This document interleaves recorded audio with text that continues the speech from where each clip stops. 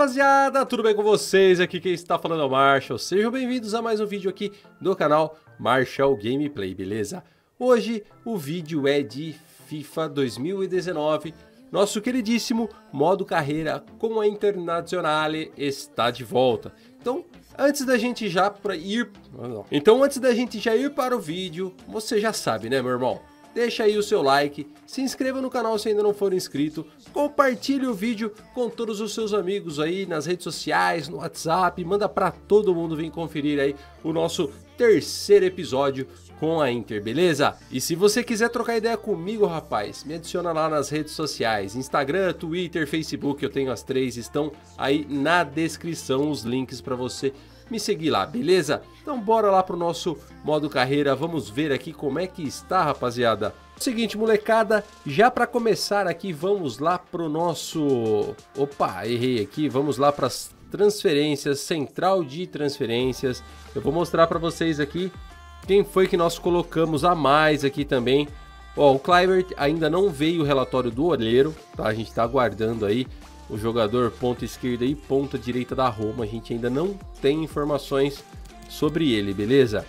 Colocamos aqui também, ó, lateral esquerdo, o Nicolas Tagliafico, o argentino de 25 anos. Joga na lateral esquerda e joga de zagueiro. É uma boa opção também. É o jogador do Ajax, hein, rapaziada? Então, a gente mandou aqui o olheiro buscar a papelada lá, dar uma sondada no jogador para a gente ver se a gente consegue alguma informação valores e tudo mais, ver se a gente consegue a contratação. Temos aqui também, rapaziada, aqui ó, o Ferland Mendy, beleza? Ó, ele é o francês lateral esquerdo de 23 anos, foi outra indicação de vocês aí. Eu também coloquei aqui na lista para ver aí o que, que o olheiro vai trazer aí para a gente ver valores e tudo mais. Temos também aqui o Sancho, rapaziada, meia esquerda e ponta esquerda do Borussia. Ele é inglês, tem 18 aninhos, cara. Vamos ver aí o que, que esse jogador tem a nos oferecer, principalmente o valor que vocês sabem. Teve uma pessoal aí que falou alguns jogadores aí, cara, mas pediram também, rapaziada, pra gente colocar aqui, ó, o Verratti, entre outros. Eu só coloquei o Verratti aqui para mostrar para vocês o seguinte. Olha ali, o valor de mercado dele é 55 milhões, rapaziada. Salário mensal, salário semanal, 130 mil. Mano, a gente não tem nem 20 milhões. Como que a gente vai contratar um jogador de 55 milhões? Não dá, né? Não dá. E por último, temos aqui mais uma indicação de vocês aqui, é o atacante argentino, rapaziada, Giovanni Simeone. É o seguinte, eu acho uma boa contratação também, porém, eu acho que de atacante a gente tá bem, cara. Pelo menos para esse início de temporada. Depois, tem o mercado abre de novo na metade do ano aí, sei lá, se a gente conseguir ganhar alguma coisa, levantar uma grana, vender jogador, de repente dá pra gente trazer um outro reforço legal aí.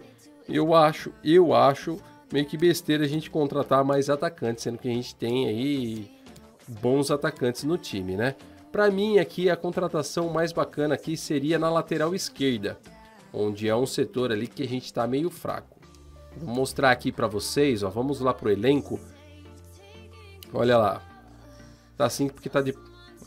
Então eu vou mostrar aqui o elenco para vocês, ó.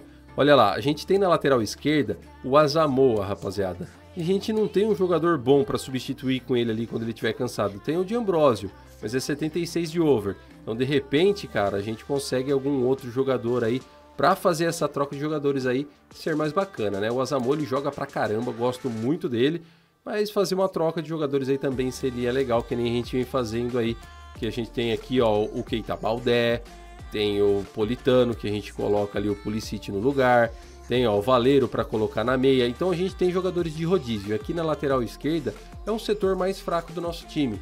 Né? Então, de repente, contratar um lateral esquerdo eu acho que seria a melhor opção. Eu comentei no outro vídeo também a respeito do zagueiro, que o Miranda tá ficando velho, para vocês darem nomes e tudo mais, para a gente pensar isso no futuro tá? O, obviamente que eu não ia vender o Miranda. O Miranda, ele é ídolo do time, o cara é mito. Eu, particularmente, cara, gosto pra caramba do futebol do Miranda. Então, obviamente que eu não venderia um dos melhores jogadores do nosso time. Mas, mesmo assim, vão deixando o nome de zagueiro aí pra gente ir se preparando para uma futura contratação, pois o Miranda está velho, beleza? Rapaziada, o Chelsea nos mandou aqui, ó, 26 milhões e 500 no João Mário. O jogador vale aí entre 28 e 41 e 700. Só que é o seguinte, ele é 81 de over, 25 anos, joga na meia, na ponta, no meio campo, meio direita. Mano, eu não vou me desfazer do João Mário, ele vai ficar no time. Então eu vou recusar a oferta, tá bem? Mais um dia de treino aqui no CT da Inter. E temos aí, ó, CACDD. Foi bem meia boca, né? Foi bem mais ou menos. Quem mandou bem aí foi o Mito Pulisic.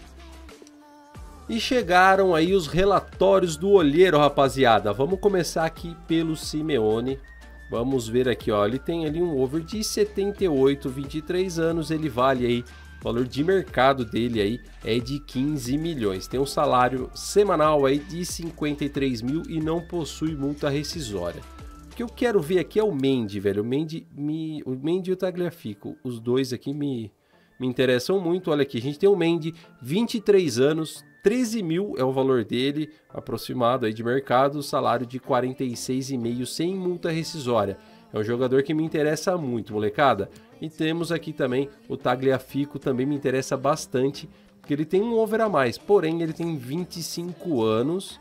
E entre os dois, molecada, vamos lá, a gente tem um aqui, ó, o Tagliafico ele tem 79 de, de, de over e o Mendy ele tem 78. Porém, o Tagliafico é dois anos mais velho, ele tem três estrelas de finta, é, duas estrelas na perna ruim. Agora saca só o Mendy, é um jogador muito mais completo, dois anos mais novo, um só de over, ou seja, pode evoluir mais. Só que finta, perna ruim, as, as capacidades dele aqui são bem melhores. São bem melhores do que a do Tagliafico. Então é o seguinte, eu vou tentar contratar o Mendy aqui para o time, beleza? Estamos recebendo aqui os representantes aqui do Lyon para a gente tentar contratar aqui o Mendy, beleza? Então é o seguinte, ele vale 13 mil, obviamente vão pedir mais do que isso, e eu vou tentar ofertar o Borja Valeiro aqui para ver se a gente consegue diminuir, já que o nosso orçamento é de 13.700, a gente não vai ter o valor que eles querem aí eles vão pedir aí para comprar o Mendy. Então vamos ver se a gente consegue uma troca entre os jogadores aí. Beleza, eles aceitam o Borja, só que eles estão pedindo ainda uma volta ali, ó, de 14 milhões 225 e obviamente a gente não tem essa grana. Então vamos mandar aqui uma contra-oferta. Vamos ajustar o valor aqui, ó, para 11, 11,245. Vamos ver aqui o que, que eles nos falam. Aí, rapaziada, estão de acordo, a gente conseguiu dar o primeiro passo aí, o Mendy está vindo, tá quase aí, tá quase aí, está vindo aí para reforçar o time, hein? Então vamos receber o jogador aí em nosso escritório, rapaziada. Vamos ver aí se a gente consegue chegar um acordo legal com ele aí, ó. Ele ganha um salário aí de 46.500, molecada. Então vamos ver aí como é que vai ficar essa situação aqui. Vamos lá. Então ele quer, vamos propor a função de importante aqui do time, ele não vai ser titular, ótimo, é isso que ele queria, muito bem, está aceito, isso é uma maravilha. Ele está pedindo aqui, rapaziada, um contrato de 4 anos. Beleza, vou aceitar, 4 anos, tudo bem, o cara é novo, muito bom, 4 anos está aceito. Desconsiderar, vamos desconsiderar a multa rescisória aí, Vamos ver agora aqui o salário. Ele ganha então 46,500. E eu vou jogar aqui, ó, 55, rapaziada. Vamos ver se ele vai aceitar aí os 55 mil aí. Que é um salário aí quase de 10 mil a mais do que ele ganha, né, rapaziada? Então, vamos lá, vamos lá que você vai aceitar, né, meu irmão? É uma proposta justa, meu cliente está satisfeito e é isso aí, molecada. Sugestão de vocês: lateral esquerdo novo no time da Internazionale. Rapaziada, recebemos duas propostas aqui, uma pelo Gagliardini, que eu não aceitei aqui, na verdade ela até expirou, eu não mostrei para vocês aqui no vídeo anterior. E agora temos agora mais uma proposta aqui Rapaziada, é o seguinte, recebemos mais duas propostas aí, uma pelo. Uma pelo Gagliardini, que eu não aceitei aqui, deixa quieta essa parada aqui, ele vai ficar no time, 24 anos, 78 de over, joga na nossa meia aí, vai ficar no time. E o Randonovic também, rapaziada, temos aqui uma oferta do Manchester City de 29 milhões, mas ele é o nosso goleirão titular, por enquanto a gente não vai contratar nenhum goleiro, então eu vou recusar a oferta porque ele vai ficar no time, beleza? Recebemos aqui mais uma proposta do Huddersfield Town, rapaziada. Eles estão oferecendo aqui uma grana aqui, ó, de 18 milhões e meio e o Antônio Candreva é o seguinte, rapaziada, ele não tá nem no banco, ele tá nos não relacionados, ele é um over de 80, que é um over bom, mas ele é velhinho ali, não velhinho, né, mas ele tá com 31 anos, é um jogador que já não evolui mais. Na nossa meia, a gente tem jogadores ali que podem ser feito ali a substituição, pode ser feito rodízio, sem contar que a gente também tem o Keita Baldé que joga na mesma posição. Então é o seguinte, eu vou vendê-lo e vou tentar Vamos tentar aqui negociar, vamos tentar segurar uma grana a mais aqui dos 18,5 que eles estão oferecendo. Vamos receber aí o representante dos Huddersfield Town aqui no nosso escritório. Olha as camisetas ali, a camiseta do Skriniar ali, bonitaça, pendurada na parede. E vamos lá.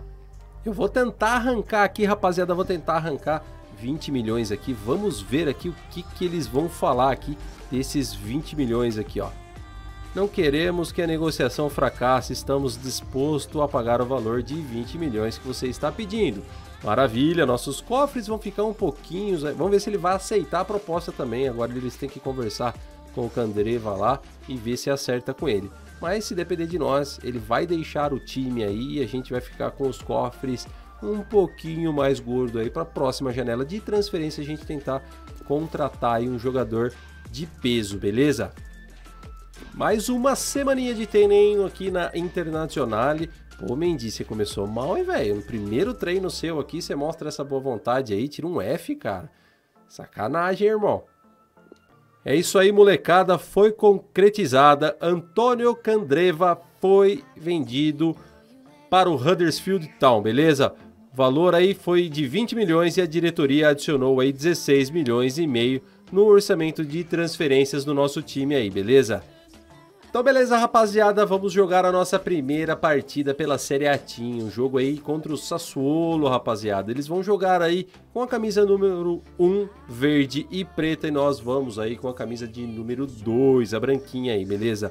Eu vou deixar o time do jeito que tá, vou colocar... Não, não vou colocar... Não, vou estrear, vou estrear, vou colocar aqui, vamos colocar o Mendy pra começar jogando. Vamos dar essa chance pra ele.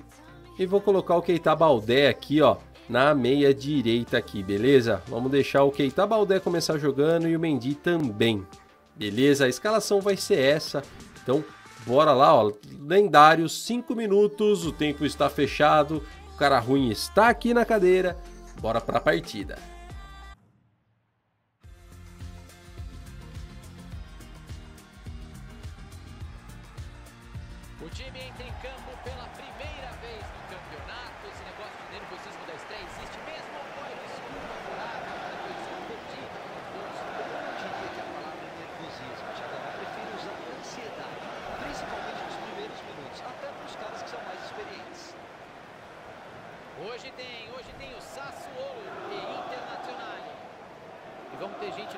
Isso aí, molecada. Vamos cortar aqui a entrada dos jogadores aqui. Estão em campo. Vamos começar o nosso primeiro jogo aqui e vamos tentar aí a nossa primeira vitória no campeonato. Ai, molecada, tem espaço! Defesaça! O Boga bateu pro gol, molecada. Olha lá. Ô, louco, hein, Boga? Quase tomamos um gol do Boga. Ô, Boguinha, viu? Olha a bola na área, quem sai, sai de soco o goleiro. Tira de lá do jeito que deu. Bola tá perigosa aqui na frente. Vamos pegar essa bola, molecada. Vamos tirar daí. Tira, tira, tira. Ai, caraca. Vamos, tira, tira, tira. Isso. E agora? E agora? Vai, Icardi. Hum, tá sozinho, mano. Sozinho embaçou, hein. Olha lá. Olha o Keita Baldé subiu. Hum, que bolão do Icardi pro Keita Baldé, meus amigos. Vai, Keita. Vai, vai, vai, meu irmão. Bate, bate, bate, bate. Golaço! Boa, Keita Baldé. Que isso, cara. Que velocidade, meus irmãos. Você tá maluco. O passe do Icardi foi maravilhoso, mas a velocidade do Keita Baldé ali... Meu do céu, olha lá. Partiu bonito, deixou a marcação para trás ali, ó. A galera vinha chegando, ele bateu bonito na gaveta. E quem acordou a coruja fomos nós, né, rapaziada? Olha que paulada do Baldé, mano. É isso aí, é 1 a 0 para Internazionale. Nossa senhora, que roubada. Olha o bolão pro Icardi. Olhou, bateu na trave. Não acredito, Icardi, que você perdeu esse gol, cara. Mano, você tava sozinho, frente a frente. Olha a jogada, cara. Como que ele perdeu esse gol? Icardi, meu irmão. Final de primeiro tempo, rapaziada. 1 a 0 era para estar 2 a 0 mas o Icardi fez o favor aí de dar uma carimbada na trave aí e não fazer o gol frente a frente com o goleiro. Vamos levando aí um resultado positivo pro vestiário aí, mas seria bom se tivesse feito o segundo, né? Com calma. Olha quem tá lá no meio. É o Icardi. Vai, meu irmão. Puta, o cara não passou. O cara ficou me olhando. Ó, o Nainggolan. Ô, Nainggolan. Continua. Não para não, velho. Nossa, que bolão. Vai, Icardi. Vai, Icardi. Nossa, você perdeu mais um, velho. Você tá maluco, Icardi. Pô, mano. Olha a bola com o Nainggolan. Vai sobrar. Nossa, Icardi. Pelo menos assim, né, mano? Pelo menos assim saiu o gol do Icardi. Você é louco, cara. É teste pra cardíaco, molecada. Que isso, rapaziada. Jogada ali, na Engolan bateu prensado, sobrou bonito pro Icardi. Quase que ele erra ainda, hein? Vamos ver aqui de novo, ó. Na Engolan bateu na cabeça do jogador. Olha, mano, quase que o Icardi perde esse gol, velho. Meu Deus, Icardi do céu. Olha, ele bateu bonito, cara. Foi lá no cantinho. Mas eu confesso que eu pensei que a bola ia sair. 2 a 0 molecada. Que excelente resultado, hein? Olha o Baldé, pode ser a última jogada. Nossa, ele descolou um lançamento lindo pro Nainggolan. Lindo. O Nainggolan chegou batendo pro gol. Laço que ele fez. Chegou, dominou. Eu, cara, e a segunda bola que o Nainggolan pega na frente, assim, que ele vai dominar, ele dá uma parada na velocidade. Ele não é tão bom para dominar rápido, não. Mas ainda bem que ele é bom de finalização. O zagueiro tava chegando, ele conseguiu meter essa bola pro fundo do gol aí. É 3 a 0 na Ingolan neles. Olha o Ninja aí, ó. Ele vai dominar, ó, ele dá uma parada, mano. Você viu como o marcador chegou em cima aí? Ainda bem deu tempo de chutar pro fundo do gol aí, ó. Nossa, mas pô, foi bugado, hein? A perna dele passou por dentro da outra perna aí, mas maravilha. Ainda bem que foi bugado e foi bugado pra Internacional dessa vez, né? Será que é replay? Minutos de acréscimo é o que quer a arbitragem. E vem o Mendy com a bola. Vou falar uma coisa pra vocês, hein, rapaziada. Esse Mendy joga muito, molecada. Joga demais. Olha aí a bola cruzada na área. Hum, vai sobrar aqui. Vai. Nossa, mano. Putz, quase que eu roubo a bola de novo ali na saída. Final de jogo, rapaziada. É 3 a 0 para Inter, rapaziada. Olha que maravilha. Fiquei um jogo sem tomar nenhum gol aí. Fazia tempo que isso não acontecia aqui no lendário. Vocês estão ligados, né? Cara ruim aqui, o cara não joga no lendário, tá jogando pra vocês aqui, eu tô pegando a manha. Devagarzinho, tô melhorando, tô melhorando. E isso é um bom sinal. 3 a 0 o Boga indo embora ali. Miranda, 3 a 0 para Inter aí. Maravilha, que resu resultado sensacional. O jogador da partida não podia ter sido diferente, foi o Keita Baldé. Jogou pra caramba, mano. O cara jogou demais. Esse é mito. Mito. Então vamos aí para mais uma semaninha de treinos aqui, ó. Ah, Mendy, ah, você ficou com medo quando eu falei para você ficar esperto, né, rapaz? Mandou bem aí e tirou um azão aí junto com o Pulisic, que tirou um B aí. Pulisic mito. Rapaziada, é o seguinte, então com as vendas dos nossos jogadores aí, sobrou uma verba aí de 45 milhões e meio. Agora é o seguinte, eu posso muito bem continuar o vídeo e fazer mais um jogo como de praxe, mas eu vou terminar o vídeo por aqui porque eu preciso da opinião de vocês. O que, que vocês querem que a gente faça com essa verba? Vocês acham melhor a gente guardar aí para fazer mais uma contratação de peso aí ou uma contratação de peso no meio da temporada quando a janela se abrir novamente? Ou vocês preferem que tragamos mais um jogador para o nosso modo carreira já? Então a gente tem aí ó 45 milhões de orçamento para poder fazer contratações, verba de transferência 45 milhões 502. Então dá para jogar, dá para trazer, né? Dá para jogar, dá, dá para jogar, mas dá para trazer aí um jogador bacana, dá para trazer um jogador de peso aí. E eu quero saber de vocês, analisando o nosso time, vamos analisar o time junto? Vamos, vamos analisar todo mundo junto aqui, ó. Vem comigo, vem comigo. Vamos entrar aqui no elenco. Vamos lá, eu não vou nem adiantar a partida, isso aqui tá logo após o jogo, por isso que os jogadores estão cansados, tá? Então vamos lá. A gente tem aí o Icardi e o Lautaro Martinez. Depois a gente pode até de repente mudar essa, essa formação, encaixar os dois no time aí também, não sei, vamos ver. Vamos analisar o time. A gente tem atacante, os nossos meia direita e meia esquerda ou os pontas são bons. Na Engolan no meio seria legal a gente tem aqui para substituir o na Engolan na meia a gente tem aqui também ó, o João Mário, é 81, é um jogador bom pra caramba também, mas a gente podia até trazer mais um jogador, mais um meia para substituir ali o Nainggolan e fazer o rodízio quando for preciso. De volante a gente também tá legal. O, o Azamoa tá ali na lateral esquerda, o Mendy entrou, jogou excepcionalmente bem. Então, a gente precisa de um goleiro, talvez, né? O nosso goleiro aí, ele tá mais velho já, se caso ele se machucar, o goleiro que a gente tem reserva aqui é o Padelli 74, depois fora isso vai o Bernie aqui para 64. Então de repente a gente pode trazer um goleiro também. Mas eu quero saber de vocês, o que, que a gente faz com a verba e quem que a gente traz. Então corre, já deixa já nesse comentário para mim gravar esse vídeo amanhã, tá? Eu preciso já gravar amanhã para atacar para vocês aí é, hoje é dia 17, então esse vídeo aqui vocês vão estar assistindo no dia 18. Eu tô gravando agora à noite, que eu saí do trampo, e tô gravando aqui. Ele vai ao ar aqui no dia 18. Então, no dia 19, eu preciso trazer aqui para vocês o modo carreira, já com outro jogador contratado aqui. A gente já contratar um outro jogador, beleza? Ou não, ou guardar essa grana aí para uma contratação de peso no futuro aí, beleza? Então, se você gostou desse vídeo, deixa aí o seu like, se inscreva no canal se ainda não for inscrito e compartilha com todos os amigos, rapaziada. Pergunta para seus amigos aí também o que, que a gente deve fazer. Vocês estão ligados que vocês estão participando mais do que nunca do nosso modo carreira. Todos os jogadores que eu contratei foram indicação de vocês. Obviamente, são 5 mil inscritos, eu não vou conseguir contratar todo mundo, cada um pede um jogador.